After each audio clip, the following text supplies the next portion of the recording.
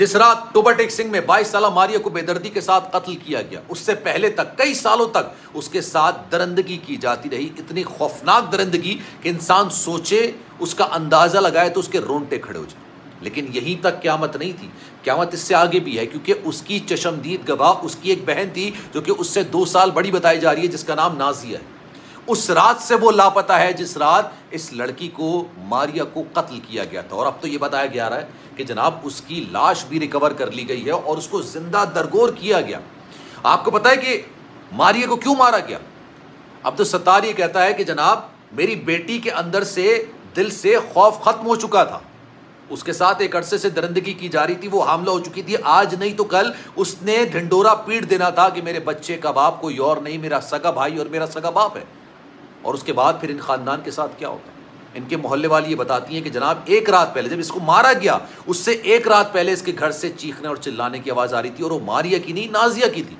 यानी रहीम आप सभी को खुश आमदीद मैं हूँ सलमान मिर्ज़ा और आप देख रहे हैं मेरा यूट्यूब चैनल और Facebook page sum up with Salman Mirza. जनाब, बहुत शुक्रिया ये वीडियो देखने के लिए आप सभी ने वक्त निकाला है। वीडियो के आगाज़ में तहे दिल से आप सभी का मैं शुक्रिया अदा करता हूँ, लेकिन इस दुआ के साथ कि आप जहाँ हो, खैर वाफियत से हों, सेहतमंद हों और तंदुरुस्त हों। जनाब, रात के इस पहर में वीडियो बना रहा हूँ। मुझे नहीं पता कि आप किस वक्त देख रहे हैं, लेकिन तकरीबन 12 बज रहे हैं जब मैं ये वीडियो बना रहा हूँ, और उसकी वजह यह है कि बहुत बड़ी खबर इस वक्त निकलकर सामने आ रही है टोबर टेक सिंह वाक्य के हवाले से। आप सब जानते हैं जिस तरह की बरबरीत जिस तरह की दरंदगी टोबर टेक सिंह में की गई, जिसके वाले से बात करते हुए, जिसके वाले से सोचते हुए भी इंसान की रूह तक काँप जाए। बाईस साल मारिया को, जिस बेदर्दी के साथ कत्ल किया गया, और कत्ल करने से पहले जो दरिंदगी, जो हैवानियत उसके साथ की गई, यकीन जानिए इंसानी तारीख में इसकी नज़ीर नहीं मिलती और लगता है ऐसे शायद क्यामत करीब है। लेकिन इससे बढ़कर एक और क्यामत हुई है, जिस पर मैं ये वीडियो बना रहा हूँ।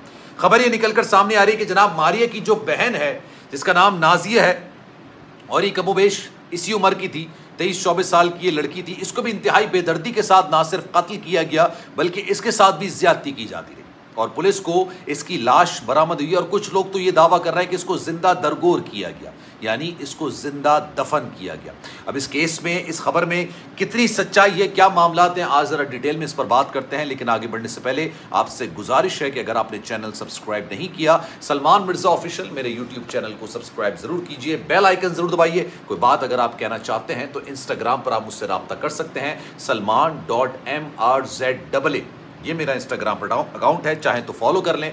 जो आप मैसेज करेंगे, इंशाल्लाह मेरी कोशिश होगी कि आपके मैसेज का रिप्लाई मैं ज़रूर करूँगा। जनाब, तीन से चार खबरें हैं। एक तो तीन माह के बच्चे की कहानी इस वक्त काफ़ी ज़्यादा चल रही है। दूसरी, मारिया की जो बहन है, नाजिया, उसकी क्या हकीकत है? उसको ज़िंदा दरगोर क्यों किया गया? और तीसरी, कि जनाब, जो इसका भाई था शहबाज और उसकी बेगम सुमेरा, उसको क्यों इतना बड़ा रिलीफ मिल गया? ये तो वो भाई है जिसने बाकायदा तौर पर अपनी बहन की मौत की वीडियो बनाई। इन तीनों पर एक एक करके बात करते हैं। आज अदालत में जब शहबाज और उसकी वाइफ सुमेरा को पेश किया गया था, तब पुलिस की जानब से ये मौक़ अपनाया गया कि जनाब, इनसे हमने जितनी तफ्तीश करनी थी, उतनी तफ्तीश कर ली है। हमारे पास अब और कुछ इनसे निकालने के लिए है नहीं, इसलिए हमें इनका जिस्मानी रिमांड हासिल करने की कोई ज़रूरत नहीं है। आप चाहें तो उसको जुडिशल कर दें। जिस्मानी रिमांड तक जो मुलजमान होते हैं, वो पुलिस के हवाले होते हैं, और जब जुडिशल रिमांड मिल जाता है तो उस वक्त जेल भेज दिया जाता है, ताकि आपकी ज़मानत के मामला बड़े ईजी हो जाते हैं। अब लग ये रहा है कि जनाब, जो केस शहबाज और उसकी बेगम पर बनाया गया है। 202 का गालिबन केस है ये, जिसमें आप कत्ल की मावनत या किसी जुर्म को छुपाने के हवाले से ये दफ़ा लगाई जाती है कि आपके सामने एक जुर्म हुआ, लेकिन आपने पुलिस को उसके बारे में आगाह नहीं किया। जुर्म छुपाना भी अपने अंदर एक जुर्म तस्वुर किया जाता है, लेकिन ये इतनी संगीन नौीयत का जुर्म नहीं होता है। तो जनाब, ये कहा जा रहा है कि इन पर सिर्फ़ ये दफ़ा लगाई जाएगी और इसकी सज़ा बहुत कम होती है और यकीनी तौर पर इनकी ज़मानत भी मिल जाएगी। अब उसकी वजह यह है शहबाज ने दौरान तफ्तीश ये बयान दिया कि मेरी नीयत इस वीडियो को बनाने की ये नहीं थी कि जनाब मैं इसको वायरल करूँ। जब मैं ये वीडियो बना रहा था, तब तक मेरी बहन को मौत के घाट उतार दिया गया था। फैसल ने मेरी बहन को मौत के घाट उतार दिया था और उसने ये धमकी दी थी कि अगर तुमने इस पर मुँह खोला लब कुशाई की तो याद रखना तुम्हारी दो बेटियाँ हैं, उन दोनों बेटियों को बेदर्दी से कत्ल कर दिया जाएगा। एक शख्स मेरे सामने मेरी ही बहन को, अपनी ही बहन को बेदर्दी से कत्ल कर रहा है और मेरे बच्चों पर ये इल्ज़ाम कह रहा है कि मैं तुम्हारे बच्चों तक को मार दूँगा। तो घबराना मेरा बनता है। उसने ये बात बोली कि जनाब, मेरा घबराना बनता है, मैं उस वक्त डर गया था। लेकिन बाद में जब मैं वकील के पास गया और वकील को मैंने बताया कि जनाब, ये सारी मामला हुआ है और ये देखें, ये वीडियो है तो वकील ने मुझे कहा कि शायद तुम्हें उस तरीके से इंसाफ ना मिल सके अगर तुम इस तरह से रास्ते से जाओगे। इस वीडियो को वायरल करो। जब इस वीडियो को वायरल करोगे तो कानून हरकत में आएगा। और जब हरकत में आएगा तो उसके बाद ऑब्वियसली तुम्हारी बहन को इंसाफ मिलेगा। तो उसने कहा कि मैंने इसको वायरल करने की नीयत से नहीं बनाया था। मैंने हाँ इस नीयत से ज़रूर बनाया था कि जनाब, मैं इसको दिखा सकूँ ताकि मेरे पास सफिशेंट एविडेंस मौजूद हो। एक खबर तो ये हो गई। दूसरी खबर यह कि जिस रात को इसको बेदर्दी के साथ कत्ल किया गया था, उससे एक रात पहले भी इस लड़की के साथ ज्यादती की उसके मोहल्ले वालों ने कुछ ऐसे इंकशाफात किए हैं। आप यकीन जानिए कि इनके घर से रोज़ाना रात में लड़की के चीखने और चिल्लाने की आवाज़ आती थी। अच्छा ये इलाका ऐसा है कि यहाँ पर औरतों पर तशद करना, औरतों को मारना, पीटना, ये ज़्यादा बुरा नहीं तस्वुर किया जाता। यहाँ पर पढ़ाई और यहाँ पर शूर ना होने के बराबर है। यहाँ पर लड़की पर, औरत पर हाथ उठाना मर्दानगी की निशानी तस्वुर की जाती है। उनके मोहल्ले वाले ने कहा कि जनाब, इस घर से मुस्तकिल रोने की और चीखने की और चिल्लाने की और दर्द सहने की आवाज़ें आती थी। और एक रात पहले भी इस लड़की के साथ यकीनी तौर पर ज्यादती हुई होगी। लेकिन उसी रात, जिस रात इसको कत्ल किया गया, इसकी बहन वहाँ से फरार हुई। अब दो खबरें। पहली खबर यह है कि जनाब उसको किसी सेफ़ पैसेज देकर किसी महफूज जगह पर मुंतकिल कर दिया गया। लेकिन एक खबर यह है कि उसको भी ज़िंदा दरगोर किया क्योंकि वो बहुत सारी चीज़ों को जान चुकी थी, पहचान चुकी थी। और किसी भी वक्त वो तमाम चीज़ें बता सकती थी। किसी भी वक्त वो गवाही दे सकती थी। आपको पता है बाईस साल मारिए को क्यों कत्ल किया गया?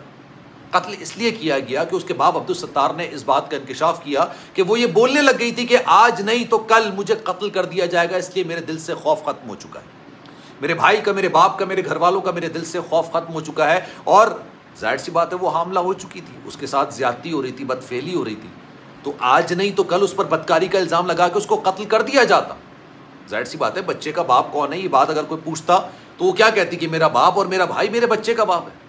आप सोचिए, तस्वुर कीजिए इस बात।